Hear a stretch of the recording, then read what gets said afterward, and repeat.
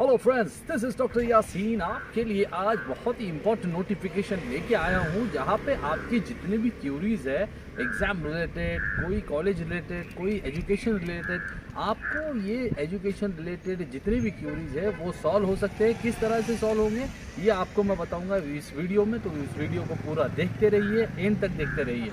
तो मैं आपको बता रहा था कि किस तरह से आप आपकी क्यूरी सॉल्व कर सकते हैं। Parents teachers non teaching staff supporting staff जितने भी यहाँ एजुकेशन से रिलेटेड जो परेशानियाँ हैं प्रॉब्लम्स है, वहाँ का सोल्यूशन देने के लिए उदय सावंत सर जी जी हाँ हमारे शिक्षण मंत्री जी, कल यानी कि 18 फेब को यहाँ पे university Savitri by Pune Pune university में यहाँ पे आने वाले हैं। यहाँ पे वो प्रॉब्लम्स जितने भी आपके रिलेटिव प्रॉब्लम्स है, वो सोल्यूशन उसका ये देने वाले हैं। आपकी जितनी भी मुश्किल है, उसका हल यहाँ पे निकलने वाला है। तो तो आप यहाँ पे आ सकते हैं सावित्री बाई पुणे पुणे यूनिवर्सिटी में आ सकते हैं।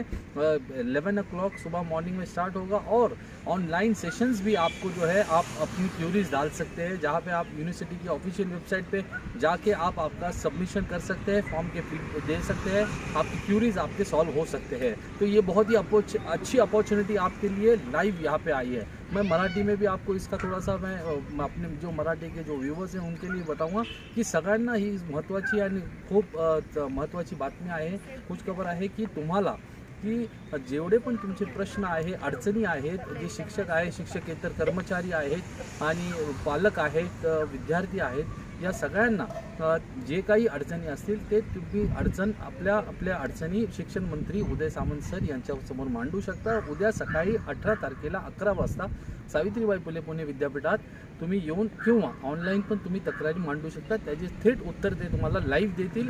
तर तुम्हाला उद्या सकाळी अकरा वाजता ऑनलाईन यायचं आहे आणि होऊ शके तो आप तुम्ही इकडं पण येऊ शकता जर पॉसिबल असेल तर. तर अशा साऱ्या पूर्ण गोष्टीसाठी महत्त्वाच्या बातम्यांसाठी माझ्या चॅनलला सबस्क्राईब करा लाईक करा आणि शेअर करा. Thank you very much